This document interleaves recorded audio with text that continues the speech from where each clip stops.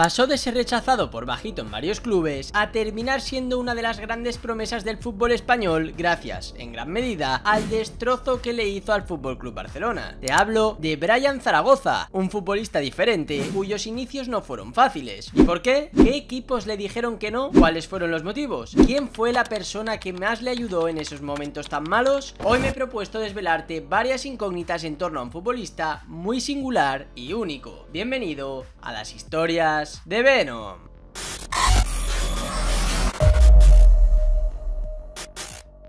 Una de las premisas principales para triunfar en el fútbol es saber hacer frente a las dificultades, rebelarte contra aquellos que no creen en ti, luchar y confiar en que tu momento llegará. Seguramente, si tuviéramos la oportunidad de hablar con Brian Zaragoza, nos diría que esta afirmación es totalmente cierta, porque él la ha vivido en sus propias carnes. Y ahora entenderás por qué. Brian nació en el año 2001 en la ciudad de Málaga, en un barrio humilde de unos 1800 habitantes. Podríamos decir que sus inicios en el mundo del fútbol fueron los que para muchos son los idóneos. Él pasaba horas y horas jugando en la calle y en pequeñas canchas callejeras que ayudan a aprender esa picardía y desparpajo que, combinados con un talento descomunal, te pueden llevar muy pero que muy lejos. De ahí, desde las calles, dio el salto al campo de césped y pasó por varios equipos modestos que marcaron sus primeros años de formación. Hablamos del Atlético Jubal y del Tirón Pichón. Precisamente, en este último, fue donde vivió el primer varapalo de su trayectoria deportiva. El tiro, como así se le conoce popularmente a este club, vio como su equipo juvenil, del que Brian formaba parte, ascendía a División de Honor y decidía no contar con el joven futbolista, pese a que venía progresando de un modo sensacional. De golpe y porrazo, contra todo pronóstico, Brian Zaragoza, que parecía ser uno de los jugadores más talentosos de esa cantera, se quedó sin equipo. Menos mal que apareció Miguel Ángel González, un entrenador de fútbol base malacitano, que consciente del enorme talento del habilidoso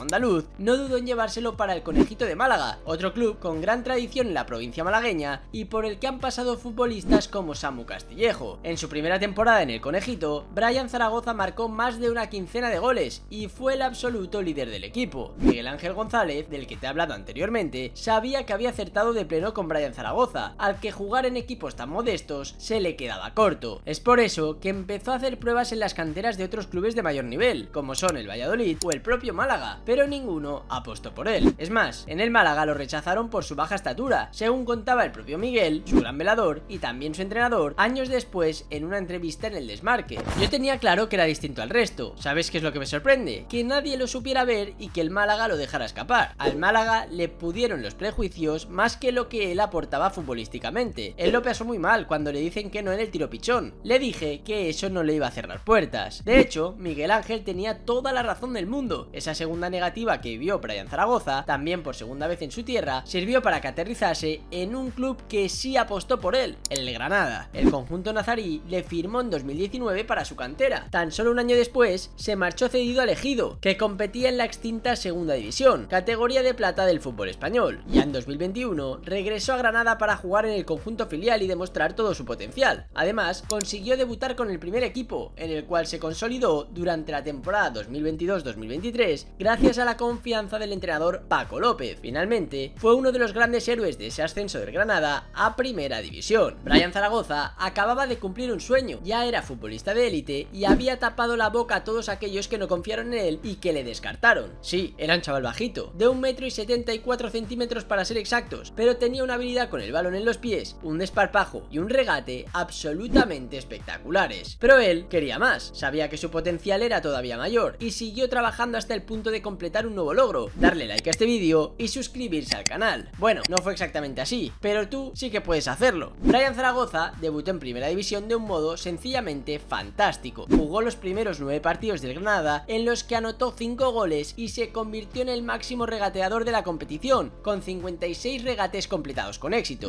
Unos registros muy por encima de otros perseguidores como Rodrigo del Real Madrid, por ejemplo. Era la auténtica sensación de la liga, consiguiendo dos de esos 5 goles en un partido que tuvo lugar el 9 de octubre de 2023 y que supuso un verdadero punto de inflexión Aquel día, Granada y Barça se enfrentaban en el Estadio de los Cármenes. Ambos conjuntos dieron un gran espectáculo sobre el terreno de juego y firmaron un resultado de empate a dos. Más allá de ello, el protagonista principal fue Brian Zaragoza, que anotó los dos goles granadinos que le convirtieron en el gran héroe de la afición nazarí. Uno de ellos vino tras una gran acción individual en la que Zaragoza destrozó al defensa del cuadro azulgrana Jules Koundé con un magistral regate. Para muchos, acababa de nacer una estrella. Para Brian, simplemente había jugado como lo hacía en la calle cuando era niño. No es algo que me esté inventando yo, lo afirmó él mismo en la entrevista que realizó después de terminar el partido. Yo juego para el regate, no juego para correr detrás de la pelota ni juego para otra cosa. Yo desde pequeño he jugado toda mi vida en el barrio y al final juego para eso. Las redes sociales se rindieron ante él. También lo hacían otras personalidades del mundo del fútbol como Lucas Alcaraz, entrenador español con una gran trayectoria en los banquillos. Tiene una capacidad de aceleración brutal, para en seco y luego acelera con la misma velocidad. Esto le convierte en un futbolista imparable. Si controla y se gira, es muy difícil de parar. Nadie es capaz de acelerar y frenar así en tan pocos metros. Es un gran regateador y es muy vertical. Es una máquina eliminando rivales. Entre él y la portería, lo que se ponga por medio se lo acaba llevando. Incluso los propios jugadores del Barça le pedían a Brian Zaragoza que parase, tal y como el mismo futbolista contó en el postpartido. Los jugadores del Barça me han felicitado mucho y me decían que parara de correr en mitad del partido. Pero más allá de los dos tantos y de los elogios de todo el mundo, a Brian Zaragoza aún le quedaba una última gran alegría tras su brillante actuación en ese Granada-Barça. Luis de la Fuente, seleccionador nacional español, decidió incluirle en la convocatoria de España para los partidos ante Escocia y Noruega clasificatorios para la Eurocopa de 2024, en sustitución del lesionado Jeremy Pino. Y ahora sí que sí, la alegría fue total. Además, Brian Zaragoza recibió la noticia por parte del director deportivo de Granada, quien esperó a comunicársela cuando estuviera reunido con su familia. Por tanto, pudo celebrar junto a los suyos el que sería un nuevo logro en su carrera. Seguro que ese instante le hizo olvidar por completo el mal trago vivido días atrás y que supuso uno de los peores momentos en sus 22 años de vida. Y es que Brian Zaragoza se encontraba celebrando su cumpleaños en la ciudad marroquí de Marrakech cuando se desató el brutal terremoto que terminó dejando más de un millar de fallecidos en todo el país. Afortunadamente, y pese a vivir el seísmo en primera persona, resultó ileso y todo quedó en un enorme susto. Antes de poner el broche final a este vídeo, déjame que te cuente una anécdota más de Brian Zaragoza. ¿Sabes quién son sus ídolos? Lo desveló él mismo después del partido frente al Barça que comentaba anteriormente. Mi referente siempre ha sido desde pequeño Leo Messi, porque siempre ha sido el mejor. Me gustaba mucho Neymar y ahora, últimamente, en la Liga Española me fijo mucho en Vinicius. Esperemos que Brian Zaragoza solo copia a Vinicius en sus regates y no en todas las polémicas que acumula y que te cuento en el vídeo que te dejo las tarjetas. Y ahora sí, llegamos al final del vídeo y solo me falta hacerte una ¿Crees que Brian Zaragoza será una estrella o será jugador de un día? Te leo un comentario y si te ha gustado el vídeo, no olvides suscribirte y darle like. Y si te interesa seguir la actualidad del Barça, te invito a seguir también el canal del Spider Culé. Gracias por verme, recuerda que esto no es nada sin ustedes. Nos vemos en próximos vídeos aquí, en Historias de Venom.